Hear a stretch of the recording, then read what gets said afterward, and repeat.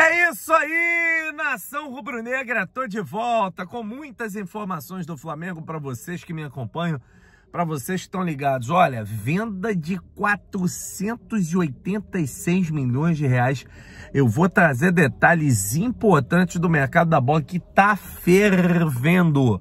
Novidades sobre a situação envolvendo o Claudinho e muito, mas muito mais para você que me acompanha para você que está atento, para você que está ligado. Reforço, assina documento. É, e você vai ficar sabendo de tudo.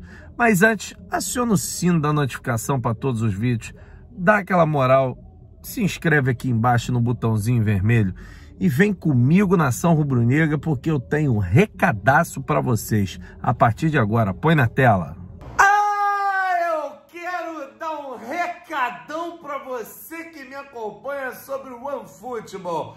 É um aplicativo de futebol que você pode escolher seu time do coração e receber notificações em tempo real dos jogos. E mais, acompanhar notícias, estatísticas, ver vídeos, jogos ao vivo, conteúdo exclusivo e muito mais. O aplicativo é desenvolvido para atender aquilo que você quer você customiza tudo o que você quer ver, é notificado sobre o que quiser e tem tudo o que um fã do futebol precisa.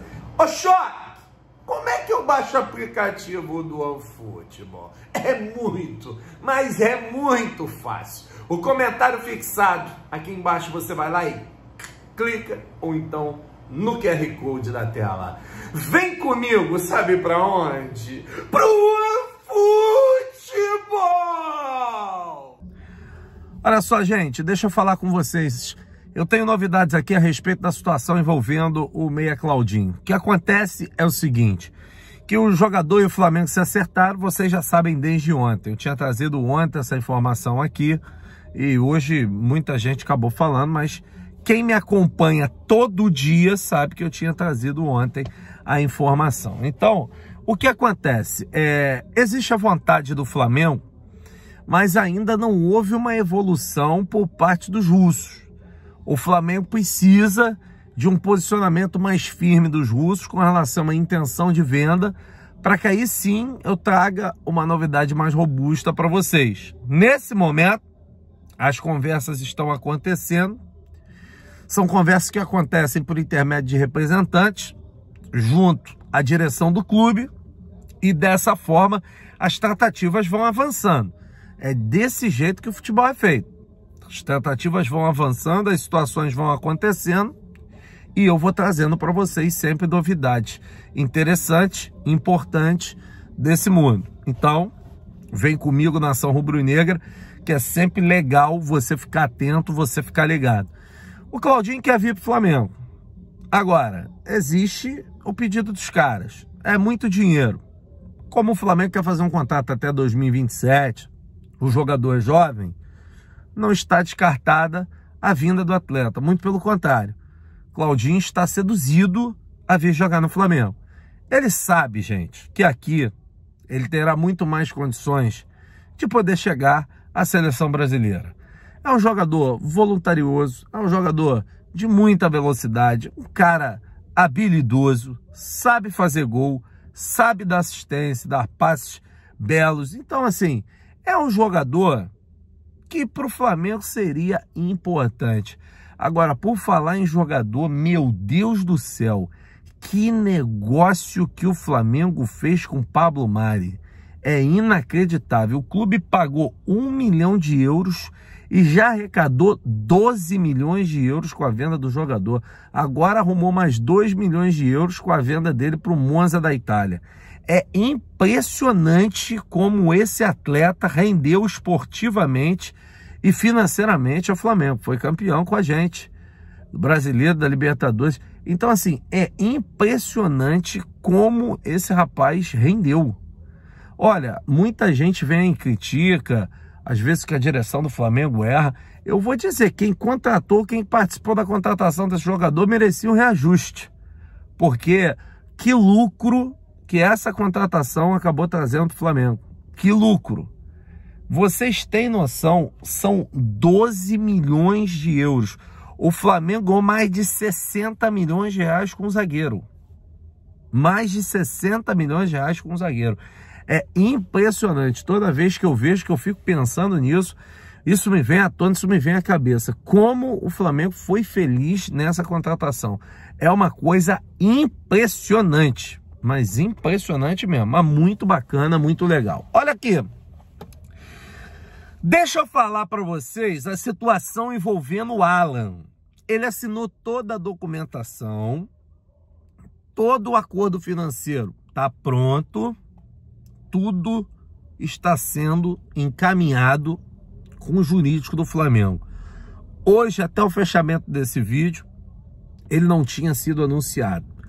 Acredito que será a qualquer momento.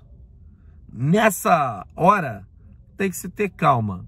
Tudo que nós tínhamos que esperar, nós já esperamos. Agora a situação está muito mais tranquila, a situação está muito mais favorável. O Flamengo sabe, o Flamengo entende que é um jogador importante, que todo esforço do mundo foi feito, esforço com sucesso, as coisas deram certo, deu tudo bem, deu tudo ok, ficou tudo beleza, beleza. Então agora é a gente torcer para que tudo avance, para que ele vá com tudo e para que ele chegue logo. Um jogador importante, eu acho uma opção importante, sabe por quê? Thiago Maia se machuca bastante. O Gerson volta e meia também tem um probleminha muscular. Então eu acho que é um jogador que vai poder chegar ali, sabe? Mas chegar forte, chegar firme, jogador de entrega, jogador que sabe das coisas, jogador voluntarioso, que chega com apetite, que chega com vontade. Eu tenho conversado com pessoas próximas do atleta que me disseram que ele está muito motivado por estar tá vindo ao Flamengo então, gente, parece que não, mas essas coisas contam muito, cara. Eu vou falar para vocês, não é brincadeira não. Essas coisas contam muito. Isso é muito, é, tudo isso é muito decisivo para o Flamengo se dar bem.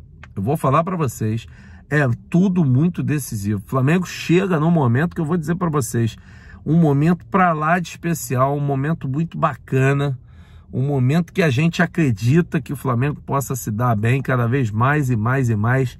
Então, assim, vamos torcer e vamos com tudo. Tá no título do vídeo, é assunto principal. Eu tô preocupado com essa janela do meio do ano, até porque vocês sabem que existe uma possibilidade de talentos nossos serem negociados. E é de fato o que está acontecendo. É de fato o que vem acontecendo. O que, que eu tenho para dizer? O Vitor Hugo é um jogador que dispensa comentários.